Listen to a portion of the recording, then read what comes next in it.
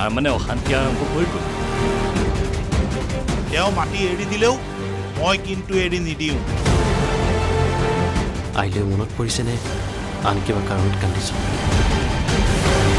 এই মাটি মই কাৰো নামত কৰি নিদিওঁ নুপুৰ আজিৰ খণ্ডটি উপভোগ কৰক সন্ধিয়া ছয় বাজি ত্ৰিছ মিনিটত আৰু নিশা ন বাজি ত্ৰিছ মিনিটত ৰঙত।